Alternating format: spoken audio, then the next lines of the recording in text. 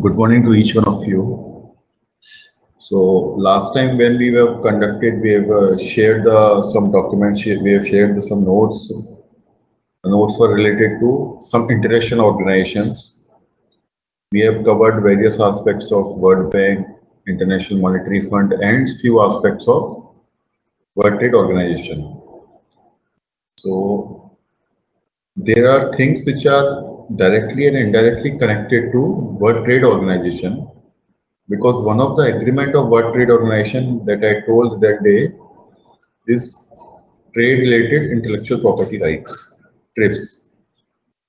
So trade related intellectual property rights is a subject which is dealt in by World Bank, uh, sorry, World Trade Organization. So we have to go through a little deep not just deep, just related deep the intellectual property rights. So what are intellectual property rights? What is the basics? What are their various types? What are the major issues associated with intellectual property right? So here and after I will call term IPR. IPR means intellectual property right. So this is the screen which you can see. So what is intellectual property right? So again that uh, when I was uh, writing UPSC, I was preparing for UPSC. I mean, almost on every time, on a, almost on every moment, I use this funda of decoding the name itself. So it will help you out in understanding the things. Intellectual property right means something which is uh, some rights, seems to be some rights which are related to some property which is called intellectual property. So what is intellectual property? Intellectual, this word comes from intellect. The property which is in the existence on behalf of intellect. Intellect means the creation of mind. The word of intellect means something which is related to your, your own brain, your own mental system, your mental capacity, your mental capability. So the property which is devised, which is in existence because of your mental capability. Something there is in your mind, based on that, some property is there, and that property is a right of that intellectual property owner. Simply. So I'm reading just a line. Intellectual property is a category of property that includes intangible creations of human intellect. Intangible means invisible. The creations which are invisible, which cannot be which cannot be understand understood by five senses of the human or human uh, body. Touch feel smell taste and see. So these five senses are not uh, applicable but there is something which is available on part of human intellect simply.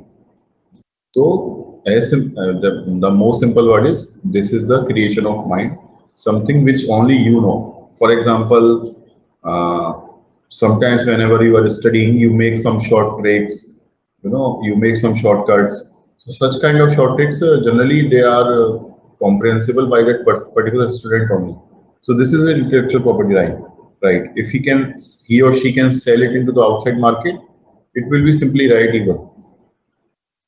So such kind of things. So there are certain kinds of intellectual properties which are important for us to understand uh, there are seven or eight types based on the situation. Generally, seven types of IPRs are there. The intellectual property may be invention, any scientific invention, anything which was invented by scientists in the past and the present and will be invented in future also. Something literally an artistic works, designs, symbols, right? Some some processes, inert, inherent processes or product and processes in, uh, which we are using in the commerce. For example, you see this vaccine thing. So vaccine uh, product, vaccine is itself a patent, is a is a intellectual property. Then process itself is intellectual property, something like that, right?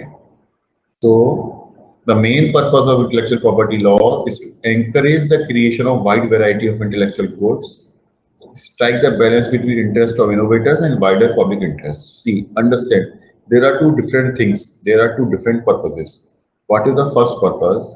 The first purpose is the creation. Until and unless you will encourage that particular uh, invention, nobody will be incentive to, in, you know, invent anything. Suppose, for example, what is across the world, there was a debate calling, uh, they, they used to say that uh, there is no motivation among the workers to work. The motivation was lacking. Why, why was it lacking? It was lacking inherently because everything state used to capture. The state means government used to capture. So when everything is government capturing, no profit uh, that you know worker is earning, why would he why would he work at first first place? Right? So there should be some incentive also. So if you are using your mental capability to devise something new, to invent something new, any factory, any business, right? So if such, such is the situation, uh, there should be some uh, encouragement also for this purpose. So for this purpose only, this IPR have been coming into place, are coming into place. Second is once some invention is there, that invention should not be a permanent and personal right of that inventor. If it is not being used for the public purpose, if it is not being used for the public good, for the common good, what is the purpose of that invention? Just for an example, let's say uh, Graham Bell might have invented telephone and might have put it into his, uh, you know, Almira and was not allowed would not have been allowed to use by anyone else, then what was the purpose of the invention? Or anything, you can take anything, computer, whatever scientific inventions are there. So until, unless you are not using it for public purpose, there is no purpose of that invention also. So the IPR, IPRs are devised in a way so that the inventor will also be incentivized. At the same time, the public purpose would be served also. For example, in present vaccine case, vaccine is the most ideal case as of now because we are going through this COVID phase also. So how government is regulating? Government is allowing incentive also, and at the same time, governments are uh, ensuring that public interest is also duly served. Because if vaccines are not available for the public purpose, even if they are invention, there is no purpose of such vaccines, creation of the manufacturing of such vaccines also, right? So I think my point is clear. If you have any, any doubt, you can continue into the chat box. I'll reply. So some rules are there which are uh, related to IPRs. First of all, international level. What are the rules at there at international level? Some Paris Convention was there in 1883. Berne Convention was there in 1886. These two conventions I have just highlighted. These are not more important. Just for your uh, um, filling the gap purpose, I have highlighted it. There is one dedicated organization which is very important is World Intellectual Property Organization, WIPO. WIPO is a dedicated organization which is uh, specifically dealing with intellectual property rights. See, WTO is also dealing through this agreement. So both our bodies dealing with this agreement. WTO dealing with some part, I mean, some part of WTO is dealing with the IPR because WTO is dealing with many other things also. And WIPO is dedicated dedicated organization for this purpose, right? So IPRs have been outlined in Article 27 of Universal Declaration of Human Rights, UDHR. You might have heard about UDHR. UDHR came into place in 1948 after uh, United Nations Convention. So Article 27 mentions about IPR. Then WTO governs IPO through TRIPS that I've already told you. So main is United Nations Declaration of Human Rights, Universal Declaration of Human Rights, World Intellectual Property Organization, WTO, TRIPS. These three are the important bodies for uh, IPR to be recognized, right? Paris Convention and Berne Convention are not so important. Okay, fine. Next, World Intellectual Property Organization. So first I will go to this dedicated organization. This is the part of UN, this organization. Headquarters situated in Geneva, Switzerland, 193 member rights, what does it include? It is hosting forums to discuss and all that, providing global services for protection and creation, registration of IP in different countries. This is a little important. You have to uh, make sure that it, is remembered by you. Providing global services that register and protect IP in different countries. See, uh, intellectual property might have been created in a particular country, but the same intellectual property might have been used in a place other than this country also. Uh, you know, turmeric is produced in India. It is a, you know, ages long product. It is not a new product. Since thousands of years, it is being produced in India. But recently, what happened 40, 50 years back, United States has also devised some medicines based on a turmeric as a raw, raw material. So turmeric was there, was produced in India. US might have, uh, you know, through smuggling or through anyway, US, uh, these producers of US might have brought the turmeric into their uh, area and they've started manufacturing of medicines. So when we protested, what was their claim was, what was the their contention that they told, US told that turmeric is Indian product, we agree. Based on turmeric, we are producing some vaccine, uh, some medicine. But we are not selling that medicine to India. We are restricting that medicine within the United States of America only. So we are not hurting interest of the Indians based on our medicine. The point is, they told that we are not hurting interest of Indians because still Indians can produce turmeric and they can make manufacturing, they can manufacture medicines also. They can sell anywhere within, within their country. Because we are not selling this to India, we are using it in United States. We are not hurting interest of the Indians. That is what their contention, their logic was this. So for such kind of issues, some international forum must be there so that international, if two nations are not in coherent with each other as far as IPR is concerned, they can come and fight with each other. They can resolve their issues basically because it is hurting Indian interest also. How it, how is it hurting? If turmeric is being produced in India, if it's being exported outside, if the medicines are being uh, manufacturing being manufactured outside across the world, our area of export, our area because now there's a time of global trade, international trade. So if our area of export will have been will be reduced a lot we will not be able to sell these medicines outside because other countries are selling it already. So this is how our interest was getting hurt. So that's how we content, contested in WIPO also. And finally, we have won this case in 1996 or 97, I think. WIPO, that time we have uh, started, WIPO is started in 1970 somewhere in 1995, 1996, before this uh, TRIPS came into the picture through WTO, we have won that case also. So the point is, WIPO is a dedicated organization for international cooperation on intellectual property rights. This is the point, right? So just you remember, you, WIPO, you will not be asked much questions, just that what, what is WIPO and what does it deal with? That is the only question you might have been asked in UPSC. Next is TRIPS, trade-related intellectual property rights. So this is an international agreement, as I told you, this is under the ambit of WTO, World Trade Organization. Right? So there, there are certain kinds of intellectual property, uh, patents, copyright, trademarks, geographical indication, industrial design, trade secret, and exclusionary rights. So these are the some kind of the uh, intellectual property rights. So intellectual property rights and TRIPS are being dealt under the WTO ambit, and this is binding on all members. Binding because it is a treaty. When there is some treaties there or agreement is there, it is binding on all the parties. It is uh, clearly understood. You might have heard about different words of protocol, agreement, right? Uh, these are the different words which are used in international forum. So you must understand the meaning. What is the meaning? What is binding and what is not binding? Agreement, treaty, these all things are always binding.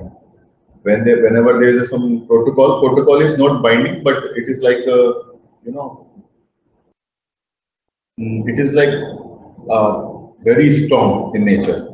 It is strong in nature. It, uh, it, it uh, the word maybe uses must it is like must, M-U-S-T. Protocol is something which is called must. It must be abided by the uh, countries. If they are not abiding, nothing can be done against them, but they must abide by that particular protocol. So this is our protocol term. The agreement treaty, they are always binding. Right. So come back to the topic. Types of intellectual property. First is patent.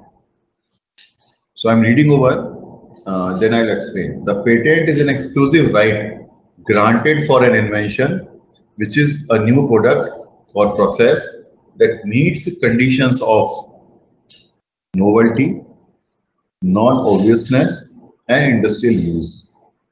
So patent is simply an invention, maybe product or process, which meets the condition of novelty. It should be novel, novel in the sense uh, the first time. It should have been the first time. It should not be should not have been used by anybody else in past.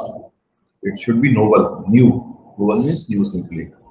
Non-obvious.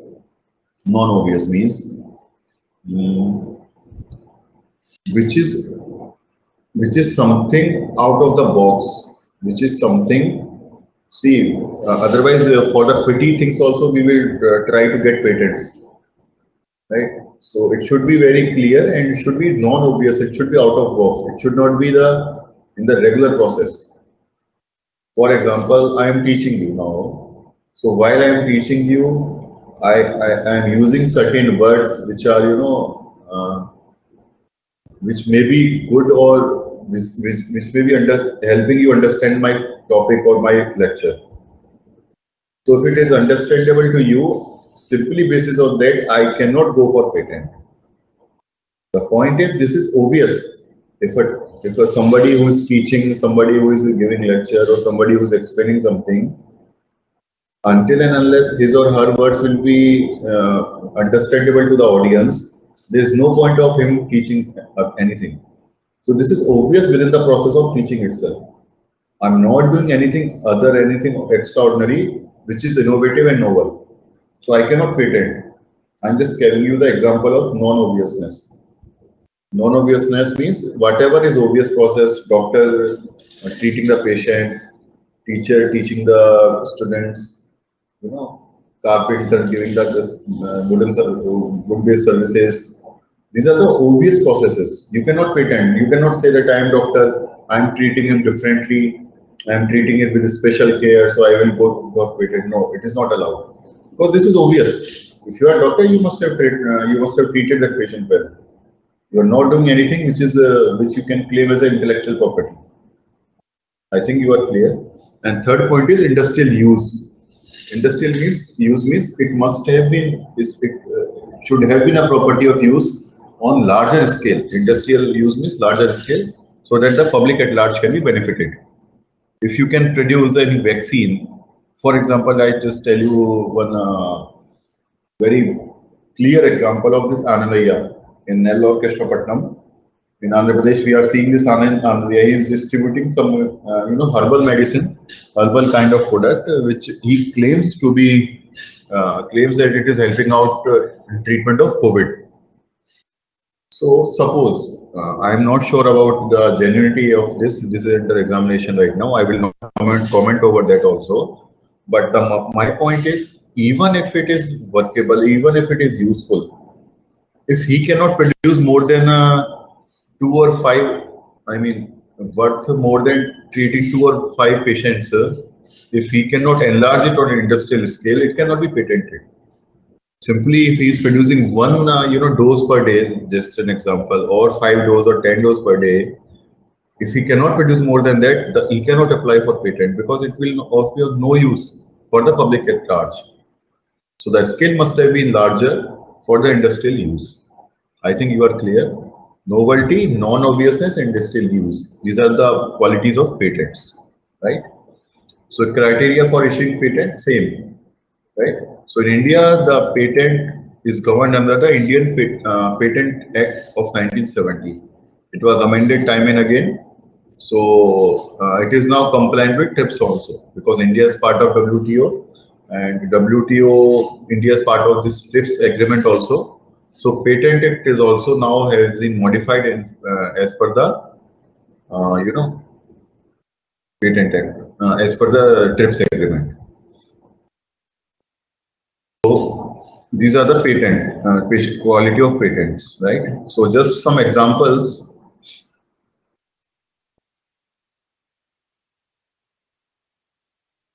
What cannot be patented? This is just for uh, your understanding, just for your uh, types of question you can understand. Frivolous inventions cannot be patented. Invention that harms public order, morality, health of animals, plant, humans, it cannot be patented. So patent is like a, something which is a, in between intellectual properties are something which is in between private interest and public interest. It lies in between two. It balances these two factors. It serves private interest also at the same time it serves public interest also. Right? So patents are uh, distributed based on that funda, based on that concept. Patent Amendment Rules 2020, latest amendment was done. They mandated the filing of the patent returns, patent statement annually. Whoever is getting patent, he must submit something called disclosure statement annually to the patent office. Right? Some form they have prescribed, Form 27 in call. Right? There is a pressure from MNC in US. Why is it pressure? Because if other countries are also getting patents, uh, they must also comply with this format. It is not just the Indian patents. So if they are complying, everything will be, you know, subjected to decision of Indian government also. So they are against these rules. So anyway, it is going to continue, right? So patent rules, uh, you can just go through.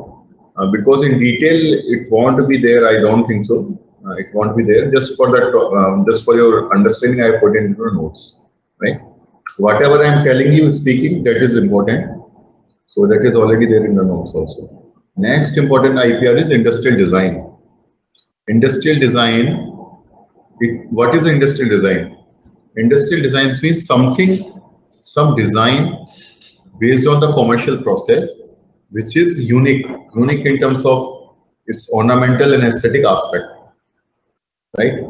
For example, some product you might have invented, maybe you can claim uh, prism. A prism is a material, no? Prism we use. So prism is a material or a particular shape of, uh, you say, telephone, mobile phone, right? Particular shape, any particular design or shape of uh, car, right? So any design which is uh, which is unique which is a creation of intellectual intellect that is men mental property, mental right, is the industrial design. And the design, the design itself is a IPR. In India, the design is uh, governed under Design Acts of 2000, Design Act of year 2000, right?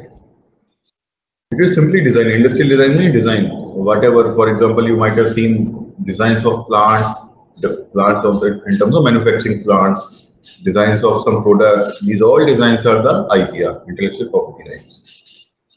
Next is the copyright. Copyright is important.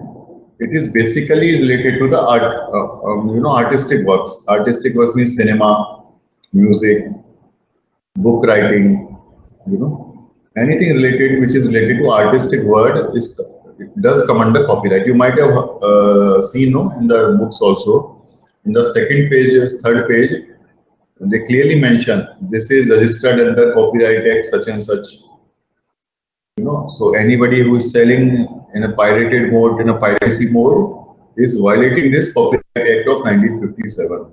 Is violating the intellectual property right, basic norms of intellectual property right. So copyright may be of anything related to the literary and artistic work, books, music, paintings, sculpture, films, computer program, database, advertisements, maps, technical drawings, anything. It all are covered under, covered under copyright. And copyright is, uh, in India, it is governed under Copyright Act 1957. Right?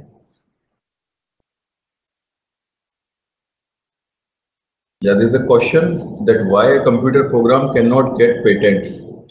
Shravanti, it cannot get patent because it is getting copyright, as simple as that, right?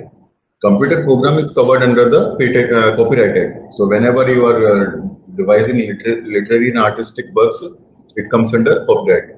See, you cannot say that why is it not there? You cannot cover one IPR in two different domains. Computer program is covered under the uh, copyright, so it is covered there only. Like patent is basically for product and process. So wherever product is there, tangible product is there, computer program I think is not tangible. It is something which is intangible. Product is there, for example, something you have devised some invention which is tangible, which is visible, or process. Then it is mostly covered in the PIT. So they have categorized this. Categorization comes from uh, TRIPS only since beginning, right? Then second question is why a patent breeder cannot can't be a patent. Why a patent breeder cannot be a patent? I didn't get this question. Uh, can you elaborate this, Srinivas, a little? Can you speak or so that I can understand your question? Why a plant breeder? Sir, plant breeder can plant breeder? Yeah, yeah. Hmm, yes.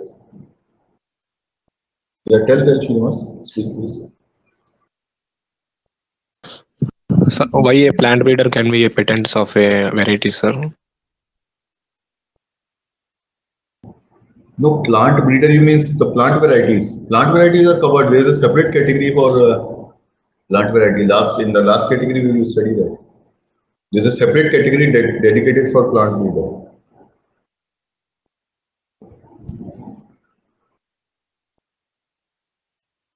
Yes, screen is not visible because I have stopped sharing screen. I'm clearing your doubts. Uh, sir, please once explain non-obviousness. See, not need not to go in so much depth, but I will explain you. Non-obviousness means something which is not obvious. It should not be natural. If it is natural, there is no nothing unique in that. I've told you now. If teacher is teaching in some different way, if a doctor is treating in some different manner, if lawyer is fighting case in some different manner, if anybody who is giving the natural service in but some in different manner, it is done. It is not obvious. It is it is obvious it is not non, non-obvious. Uh, i'm not even if i'm explaining something very good i cannot go for patent simply. That see sir i have i have explained this to students very well so I, this is my intellectual property please patent it. No it is not allowed. It should be non-obvious. Te teaching is obvious. If i'm teacher i would have been teaching it better only. That is obvious thing. I think i'm clear you not need not to go so much in details just remember the term non-obvious that's it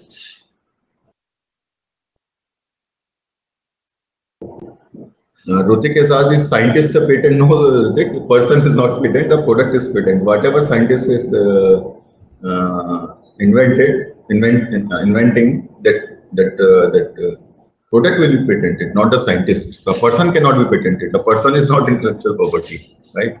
Okay. So next is trademark. Trademark. Trademark is basically some mark, distinguished mark you have seen no on the products Trademark is a sign capable of distinguishing the goods and services from one enterprise to other enterprise. It is very common. Trademark is something TM you use, na TM trademark.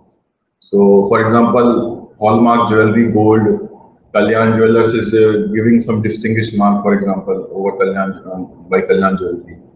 Any product you can see, Maggi, anything, whatever you see, which is trademark, is a intellectual property. So this is governed under Trademarks Act 1999, right? Geographical indication. Geographical indication, you remember your famous Tirupati Laddu is a GI product, Tirupati Laddu. Because Laddu is common. Laddu will be product, can be manufactured anywhere. It is being manufactured. I mean, there are different kind of Laddus in different parts of the country and world. But there's something unique which is in Tirupati, particularly in the area under control of TTD, Tirupati Temple uh, Devasthanam Trust, and this TTD product or Tirupati product, Laddu, is something unique, which is particularly in this area part of the world only, in this geographical area of the world only. So this is a geographical indication. Uh, something which is unique, which is unique, and which is produced in a particular area only, can be attributed for the GI, uh, geographical indication. So GI is a legal recognition given primarily to an agriculture, natural or, of a, or a manufactured product handicraft and industrial goods originating from a definite geographical territory. Right? GI tag conveys an assurance of quality and distinctiveness of product, which is essentially attributable to the place of its origin. Most commonly, geographical indication includes the name of a place of origin of goods. For example, Tirupati Laddu. It is not Laddu, it is Tirupati Laddu. Right? Bengali Rasgulla. So, Rasgulla is there everywhere in the world. Rasgulla is a very common term. but there's something which is unique in Bengali Rasgulla, in Tirupati product, Laddu. So that uniqueness, even if that is a common product, that uniqueness comes from that particular geographical area only. So that's how geographical indication is assigned, right? So if it is protected by GI, nobody other other than this producer can misuse it. Okay. So geographical indicators indications are in India governed by GI Act, GIG Act of 1999. Just remember these names of the acts. It is very useful for you in prelims also, mains also, interview also. If you are using them, you will fetch good marks in mains also, right? So please remember these, I mean, laws. What are the laws? Just remember the name of law. That's it. Okay. So for uh, clarification, they have clarified difference between GI and trademark. So trademark is a sign used by entity to distinguish its goods and services from others. GI is a product in certain place and certain characteristics because of that place only, right? So trademark is basically a design which is uh, used to distinguish a product. So next is trade secret. Let me see if any doubt is there. Yeah. Uh, is there any time for patent rights? Yeah, we will discuss it, uh, Rohit. Generally, patent rights are given for 10 years and 20 years in two time slots. So it depends on the product. We'll discuss it. We'll discuss it. Sign or symbol of product. Pranali has signed sign or symbol of product. I didn't get this question, Pranali. Can you repeat? Can you elaborate it, please? Speak or you can write a little detail. Shamla Darjeeling tea, yes. Uh, Guntur? Mirchi, yes. Yeah, yeah, yeah. Can be. Speak. Me. uh, I want to say that trademark is nothing but symbol or sign of product or company. Yeah, yeah, yeah. Yeah, you want you you wanted to say or you wanted to ask, Pranali? No, no, sir. Uh, I want to say. Okay, okay. Yeah, you are correct. You are absolutely correct. Yes, sir. Thank you. Ritik has asked trademark is special in that, sir. Okay, saffron of J&K. Okay, you are expressing examples. Good, good, good. Yeah. Kumar, trademark of one business like Kalyan Jewelers can use that same trademark in different business by other persons like Kalyan Houses. See, Kumar, uh, I I- I'm not understanding your question, but let me explain if I'm correct. See, if Kalyan Jewelers is there, some some companies there who is producing different kind of products. Just uh, let us take example of Tata. Tata is producing steel also. Tata is producing trucks also. Tata is giving uh, you know uh, mobile phone also. This uh, Indicom, this Tata Indicom and all that is also. You would have been seeing Tata ATMs also, right? So Tata is a broad brand. I mean, it is a broad uh, manufacturer who is venturing into the different kind of products. Now it is up to Tata whether they have to give same Tata logo design trademark for their every product or they can devise even different trademarks also for their different products. It is all up to Tata. If they want to distinguish with the name of Tata only, they can go with Tata trademark in across the all the products. If they want to uh, have uh, different trademarks for different product, they can go for different also. So this is all up to the manufacturer. I think my point is clear, Kumar, right? Okay, go ahead. So next is trade secret. Trade secrets are basically, uh, for example, just to give, I give you a simple example. For example, you are doing some business. In that business, uh, you have some contacts, like uh, you know, for example, you are doing export business and you have some contacts in outside India to whom you are exporting your product. This contacts is an information for you, which is the uh, which is the very basis of your business, which is the very basis of your commerce. So that information itself is secret, particularly to your trade. Because of that, you can go for the secretiveness of that uh, information also. It, uh, I mean, registration of that particular information also. The information which is secret in nature and which is fundamental, which is important for your business or commerce or for trade is a kind of intellectual property right. For example, you might have heard data is a new oil. This a term is there, no? data is new oil. Whenever data is there, data is being captured in hundreds of ways. through social media data is being captured, through companies data is being captured, any everybody is ready to sell and purchase data. So that data itself, whoever is selling and purchasing it, uh, if it is regularly used in some particular product, the data itself will be a part of intellectual property right because it is a trade secret. For example, there's a company which is messaging you for purchasing loans, right? Bankers are calling you for purchasing credit cards. So whatever information they have regarding you, about you, is it trade, trade secret? If they are legally doing it, they can go into the IPR forums and they can register it also. But the trade secret, the problem with trade secret is you cannot tell the information during registration. The information will be kept secret only. For example, in case of other intellectual properties, you are telling you are telling them this is my design, this is my product, this is my process, this is my trademark, this is my geographical indication. In trade secret, you are not telling them the real, you know, secret. You are just telling them I have some data. I have information of 100 people based on the information of 100 people, I'm selling my product. So the information of 100 people is a trade secret for me. But what is that information? You will not tell this to the registration forum. This is you will not tell it to the uh, authorities, basically. So I got, I, I think my point is clear. So in that way, trade secrets are sometimes misused. Because if you are not telling them the real information, even if you are misusing that information, they will never get to know it government will never get to know it. So the people are people sometimes misuse this trade secret also. What is happening? They are putting everything under trade secret nowadays.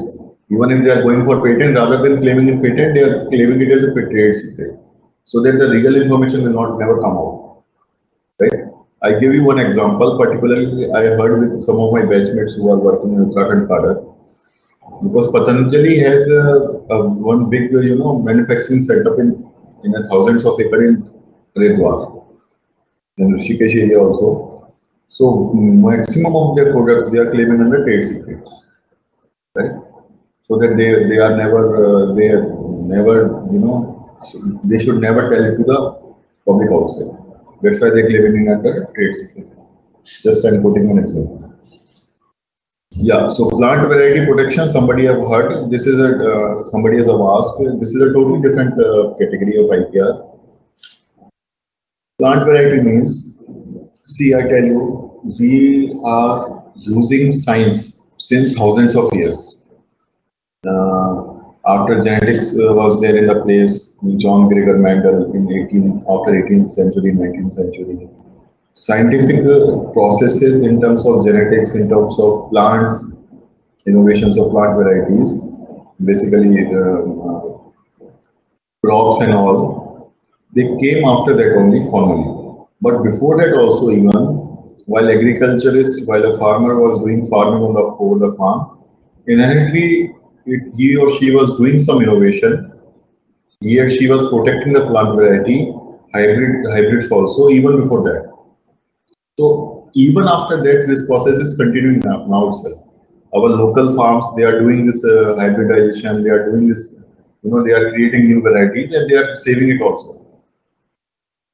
So such kind of varieties are also protected as intellectual property rights. Some kind of, it may be a some kind of seed, it may be a some kind of crop, anything it may be covering under the plant variety.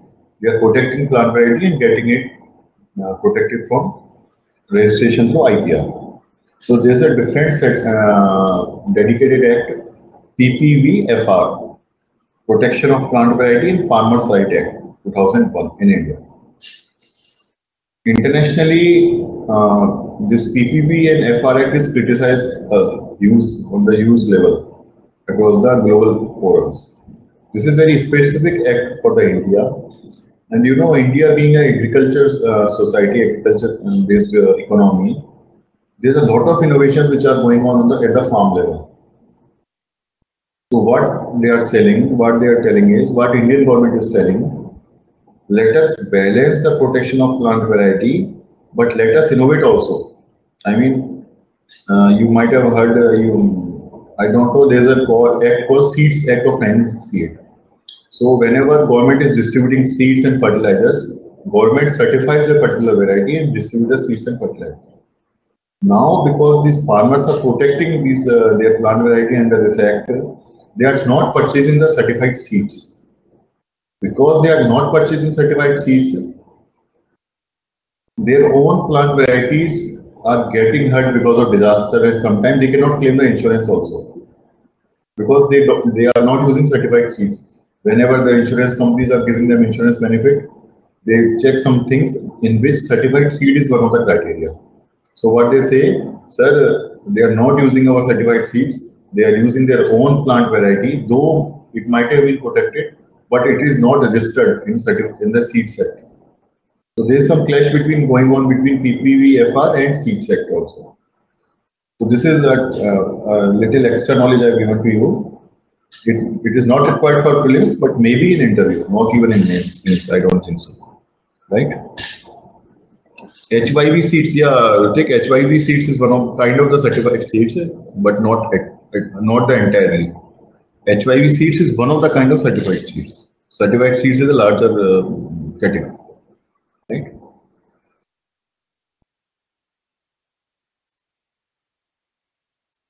So, for example, this act allows farmer to plant, grow, exchange, sell, plant, protect, can only them selling branded certified seeds. Branded seeds certified seeds, right? So, and internationally, there's a forum also, International Union for Protection of New Plant Varieties. UPOV convention is there. It deals with this particularly for this particular area, right?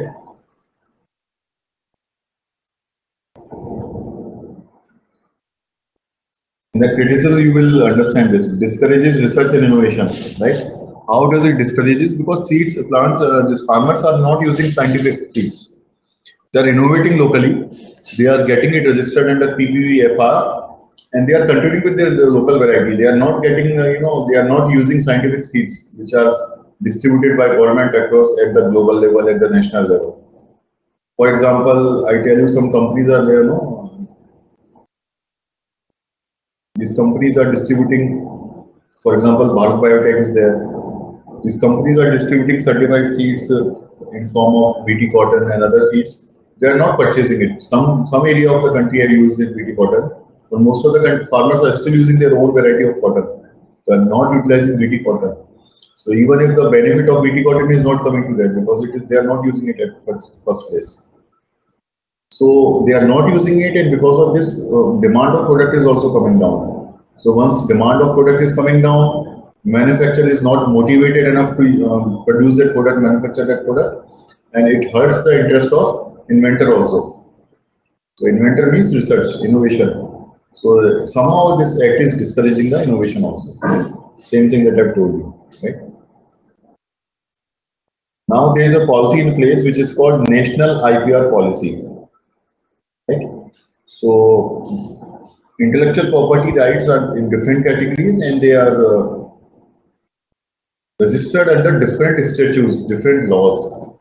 So to bring coherence among all these laws, among all these uh, you know rules and positions, we have brought a policy called NIPRP, National IPR Policy 2016. Right? This is a common policy for every category of IPR. So first is a marketable financial asset. Of course, marketable financial asset is uh, you can sell IPR, you can sell your intellectual property outside, and you can uh, you can put some price for that also. For example, patent after expiry of 10 years and 20 years, you can sell it to outside world and you can claim that. Hmm, see, this is I'm selling. See, this is I'm selling to you. I this is this is costing so much. So, for example, 500 rupees, thousand, whatever. So this is a marketable financial asset. First, second important point is in policy is it will be reviewed every five years. It is generally there in every policy, right? I I will tell you one good trick of uh, you know answering mains question through this policy. I will tell you after this policy. I will tell you how to you know deal with such kind of questions in mains. One good format I will give you. Policy is entirely compliant with WTO agreement on TRIPS, of course, because we are part of this uh, agreement. Then, who is our nodal department? Department of Industrial Policy and Promotion, DIPP, right? Ministry of Industrial, Ministry of Commerce and Industries. This is a one department under MOSI, Ministry of Industry, Commerce and Industry. So this department is a nodal department. Compulsory licensing as well as preventing evergreening. We will read, we will go through what is compulsory licensing, what is evergreening, we will go through in the next part. It is a basically it comes under all under the patent, compulsory licensing, evergreening, right? Under Patent Act, compulsory licensing can be issued for a drug if the medicine is deemed unaffordable. For example, in case of vaccines, compulsory licensing is basically you have invented something, but government is imposing you for licensing. Government is imposing that see, good that you have innovated this product, this medicine, this vaccine or anything, but you have to make it available for the public at large. We are doing it compulsorily. We are imposing on the on that uh, particular inventor. You cannot simply innovate and you cannot simply put into your house. You have to make it available to the public outside because it is of public use. It is important and the cost is so high that uh, public cannot afford it in your in your price. So we will uh, subsidize it. Government says that we will subsidize it. We sell it to the public outside. This is the compulsory licensing, right?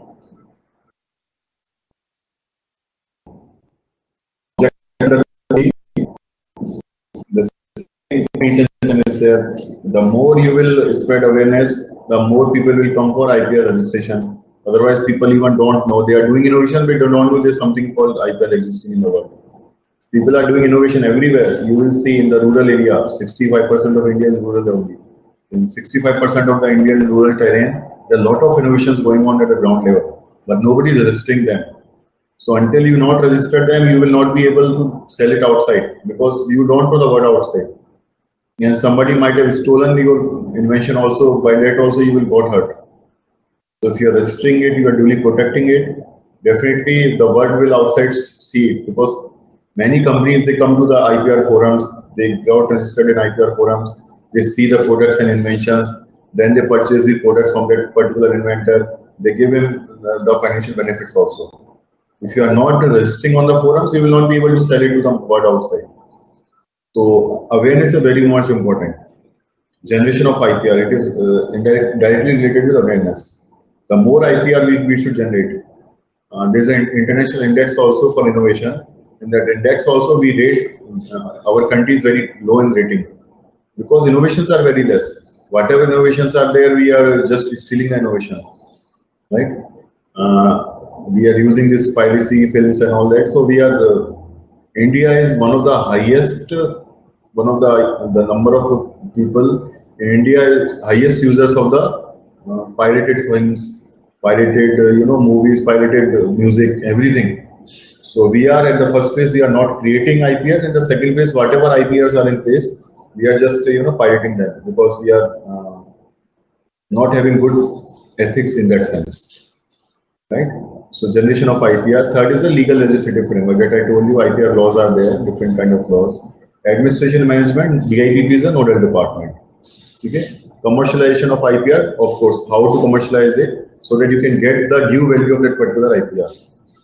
Enforcement and education. Adjudication. Enforcement means basically some piracy is there, some infringement of right is there. How to enforce it? That mechanism is there in policy, and how to adjudicate it, how to settle the dispute. That mechanism is there in the policy. Then human capital development, of course, because it is all related to the human skills, intellectual property. So these are the uh, policy uh, things. So I was telling you something, how to answer questions of UPSC based on some questions. See, I tell you one uh, good framework. This framework is very common. You can write it down also.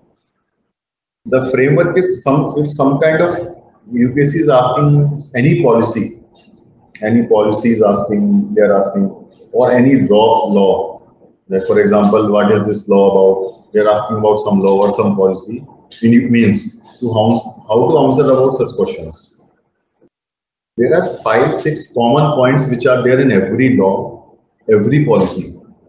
You can just go through these five, six points, just memorize them and put into your answer. Right? very common format of five, six points. I'll give you the format. First, first point will be about the objective of that policy, the broad objective. It is just nothing but decoding the name itself, just analyzing the name in two lines. The name of two words, you, you, you should have been able to describe it in two lines. For example, National IPR Policy.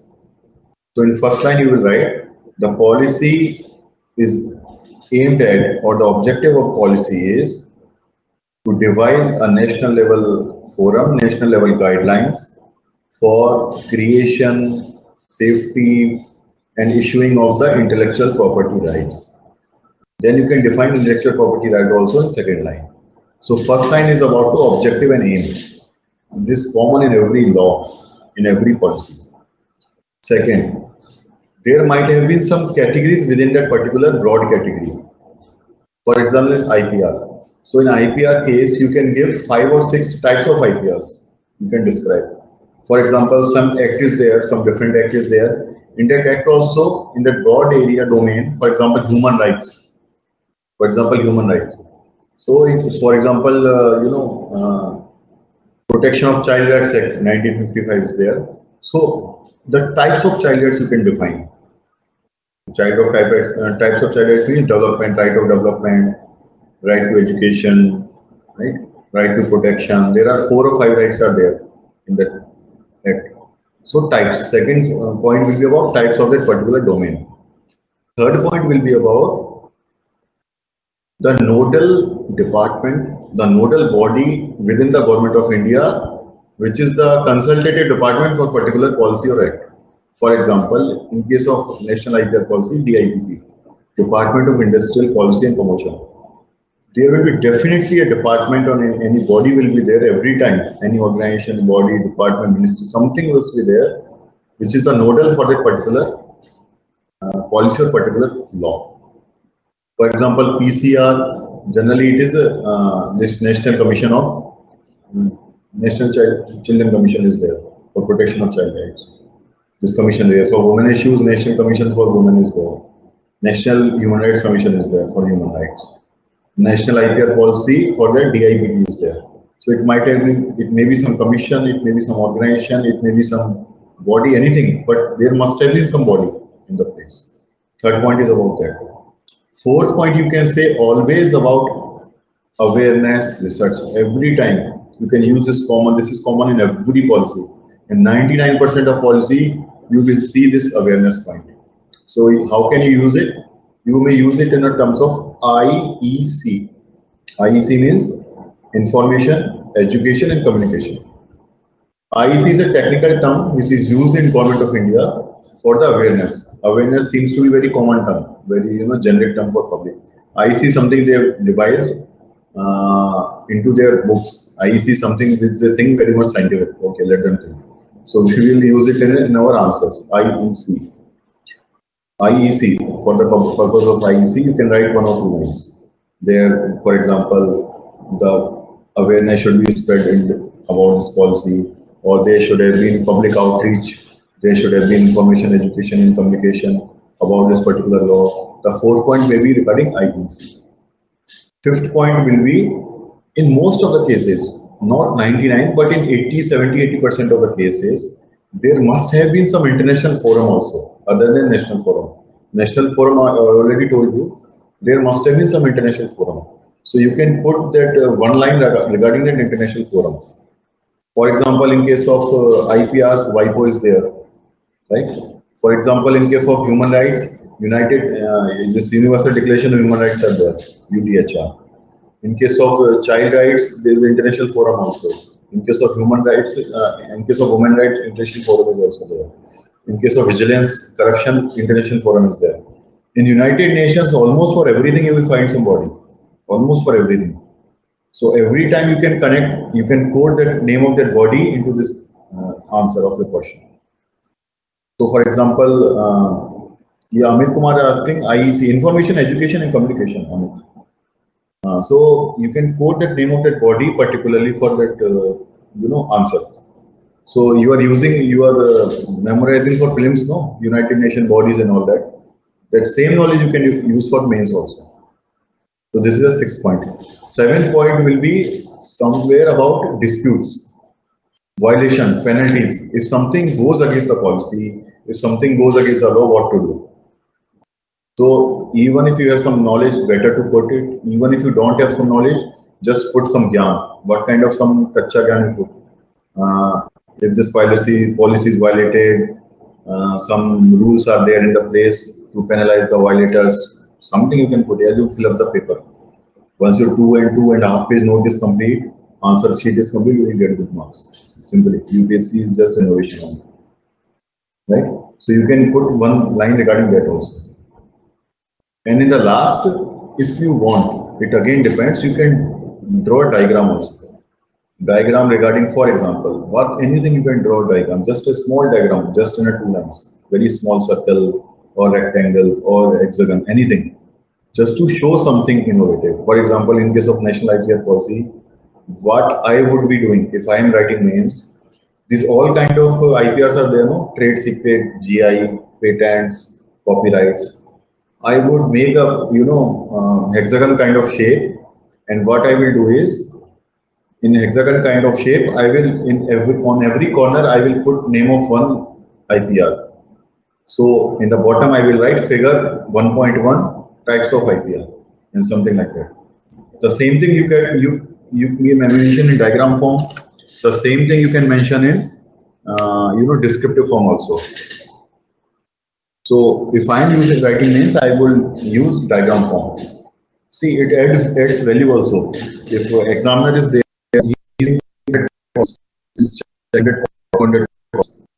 so everybody is writing about trademark, copyright. Everybody knows GI and everything. If you are putting them in a different manner, different format, let's say diagram format, at least yeah, he his boredom will come down. He will not be so much bored because every time he's seeing the same answer, he will get bored. Everybody is writing same. Why would he give extra marks to you? Nothing is specific.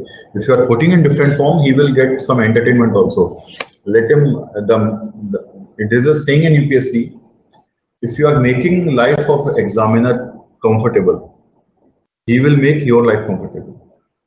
The more comfort you will give to him, you see from the perspective of examiner, the more comfortable he will be.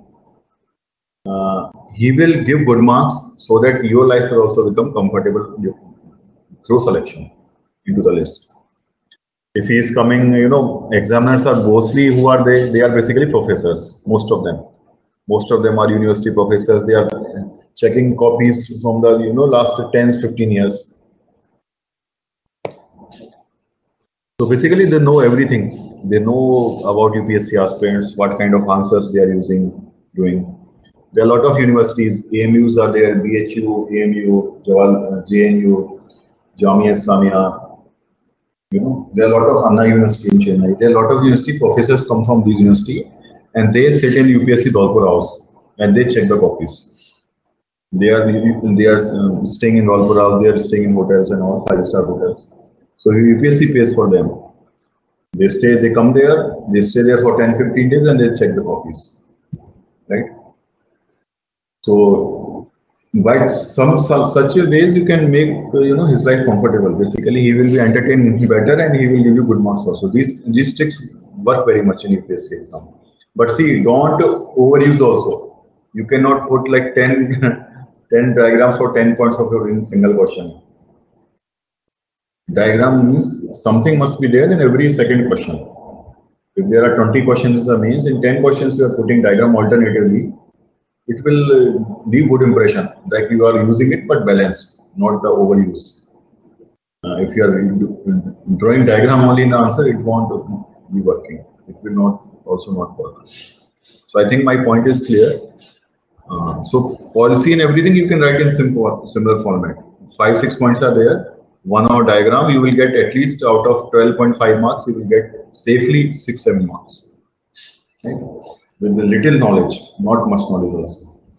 Use your prelims knowledge, use your mains knowledge, use some innovations, diagram, factual data and everything.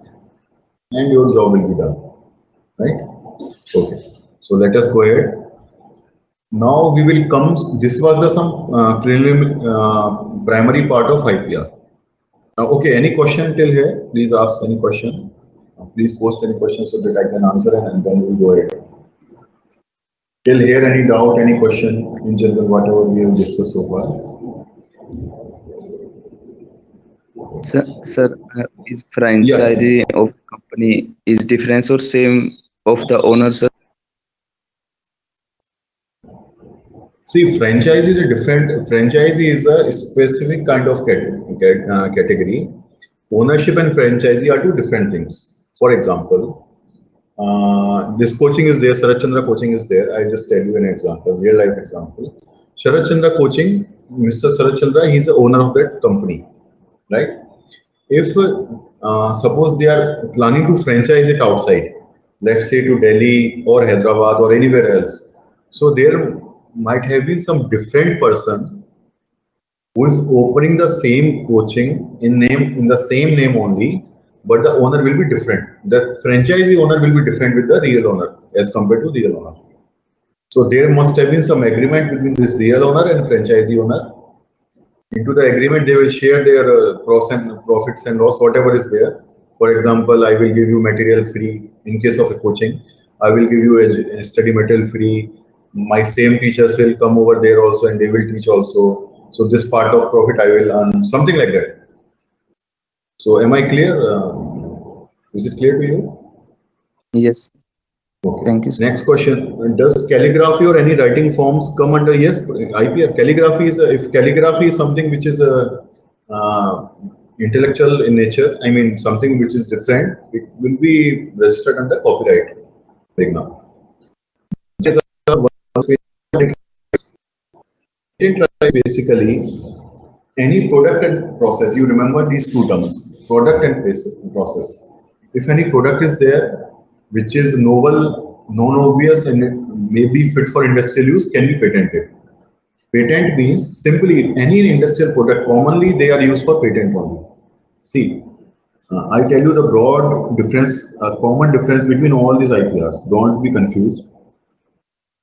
Geographical design, geographical indication is a particular area related. Simple. Just remember simply area related. Trade secret, something which is secret, which is not even outside what is there.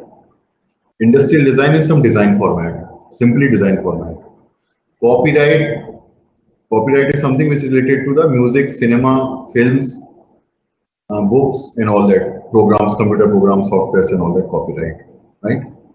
Rest everything comes under product and process related comes under patent. Make it very simple. Don't make it. Don't be confused. Am I clear, Janvi? If I'm answering you correctly.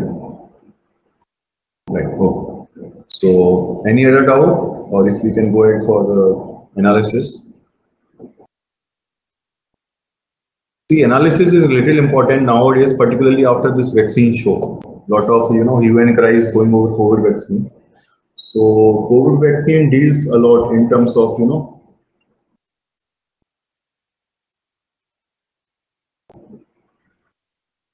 patent rights and all. Because COVID vaccine is something which is uh, scientific in nature and uh, manufacturers and inventors, scientists, they have registered for it. Now government is asking them that they are come and distribute it to public because uh, people are suffering.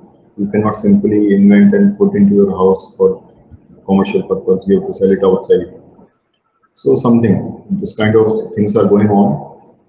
So in a disaster shape, disaster phase like like this, COVID like this, uh, everything every time government is capable and government is strong also. I mean they are you know powerful also. Governments become very powerful.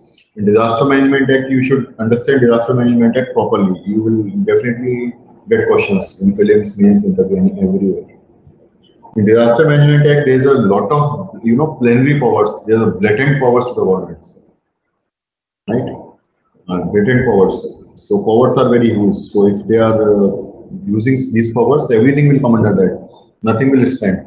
No company, nothing can do. I will. I practically tell you, like I am working here in, in this district. Uh, there are around 35, 35 to 40 big hospitals are there. Big in the sense, medium size.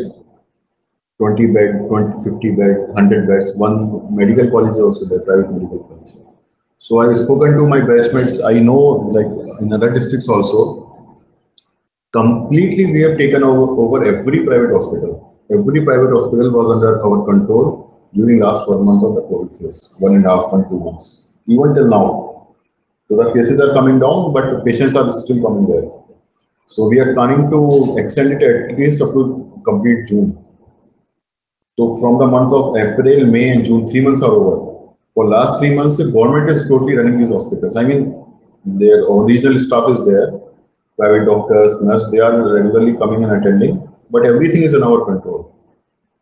Uh, for example, we are setting up one, uh, we are uh, keeping one nodal officer in every hospital from government side. It may be of Tehsildar cadre, it may be of MPDO cadre, it may be of some district level officer, you know, any department. We are just designating him as a nodal officer. He is sitting into their chamber only, MD's chamber only. He is running the hospital. Everything is under control because if we have to open it for public, it must be under public sector. You cannot go for the private sector entirely if because private organizations are for profit, they are not for public purpose. Poor patients are coming, they will not uh, get the push patient private, you know, poor patients admitted in the, hospital. Only the uh, profit, uh, I mean, non-profit organizations, only the public organizations can understand the, uh, you know, value of the public good, public benefit, public interest. So they are charging also, they are charging usually also. Even now, like 10, 15 days, I inspected some of the hospitals. So around six or seven hospitals, we have deregistered. We have totally imposed fine also around 10 lakhs, 15 lakhs.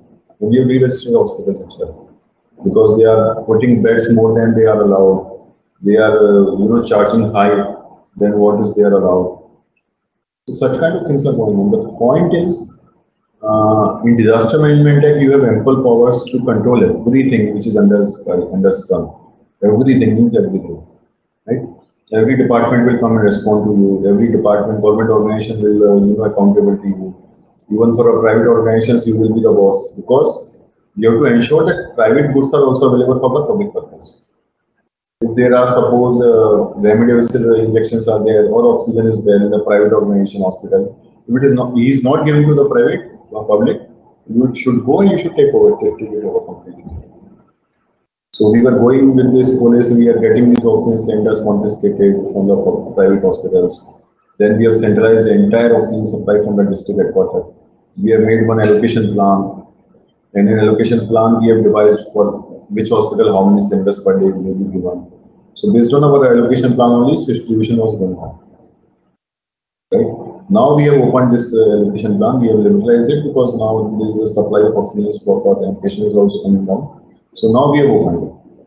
So the point is in disaster management act, you should read it properly and go through it properly, understand what it, what does it say, how does it empower you to act in times of disaster, so in Disaster Management Act only, during this time only, there's a power of requisition. Requisition means takeover. So you can take over even the manufacturers also, private vaccine manufacturers also, scientists, scientific laboratories also.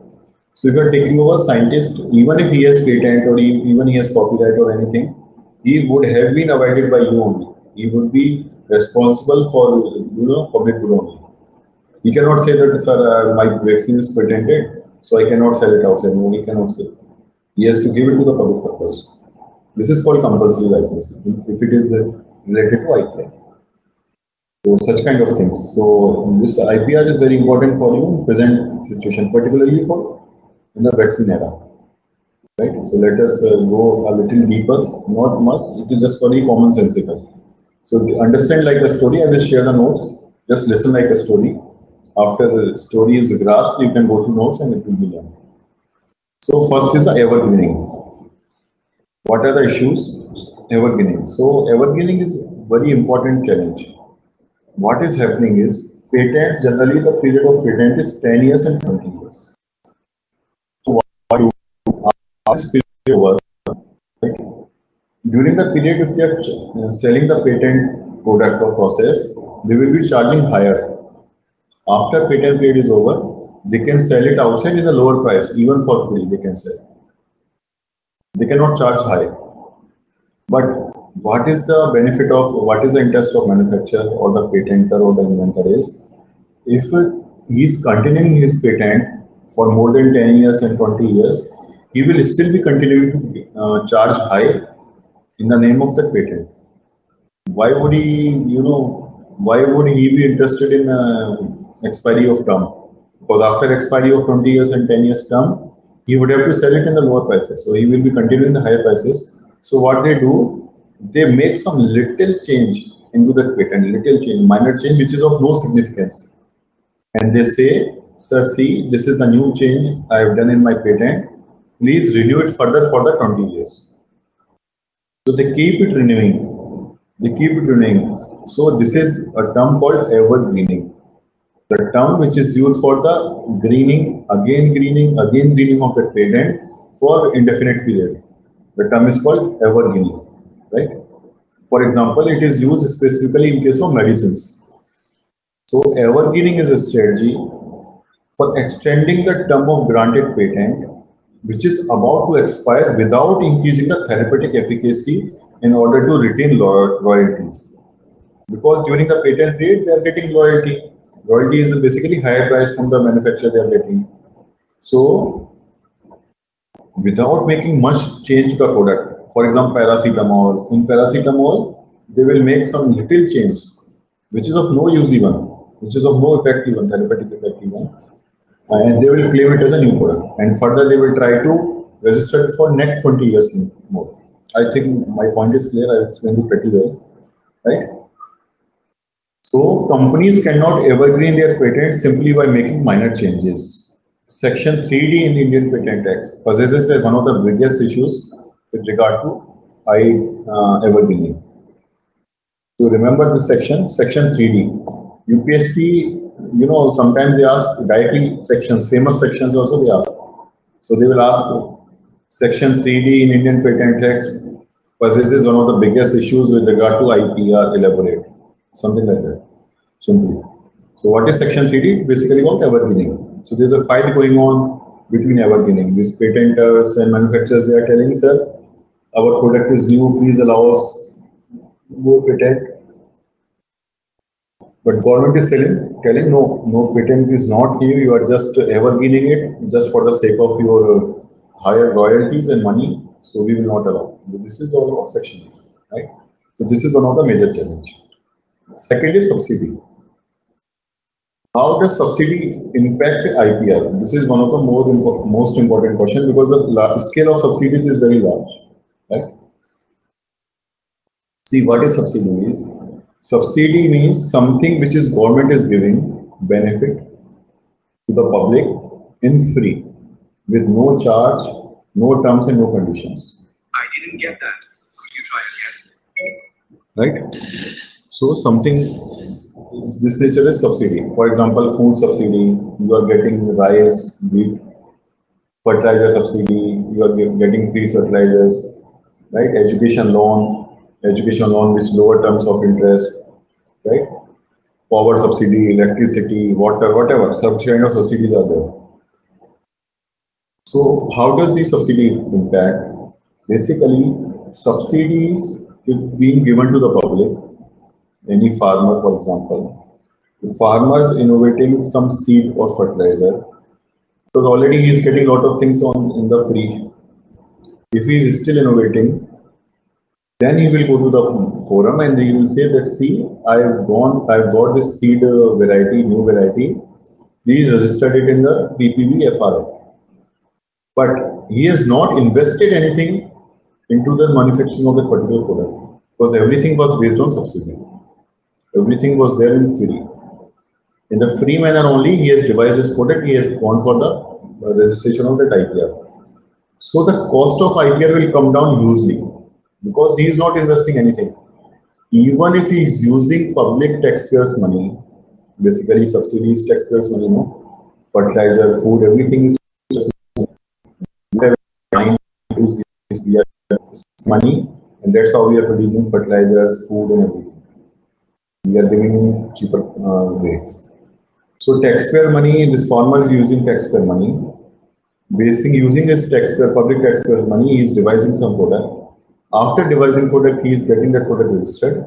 And now after registration, he is not allowing that product for the public purpose. So I think the issue is clear.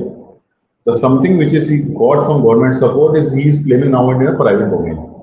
So that is the fight going on between balancing the subsidies and balancing the IP rights. Right? There may be different examples. I'm just giving you the broad understanding of the issue. Then product patent. Some somebody has asked this question also. Product and process. Patents are generally given into the two forms. One is a product product form and second is the process form. A product patents products a protects a product only. For example, vaccine. A vaccine is a product. How is it produced is a process. So it is a choice of manufacturer to he may claim for product also. He may I mean he may claim for either product or process or both. It is up to him. How does it get how does it want to protect it? So a product may be protected, a process may be protected, right? Where is a process patents protects the process through which one manufactures a product and not a product, right? So India is a part of Tri- TRIPS agreement and TRIPS agreement, what they do is they are shifting from process to product. What they are saying is that once you are starting from process, you should ultimately shift to the product. Why? Because if you are protecting process also, product also, you are blocking entire chain. You are not even allowing anybody else to even use that process. So please, okay, fine. If you are going for a process patent, it's fine. But please switch over to the product also and leave the process behind. Leave the process free so that any other person can also use that process. Right?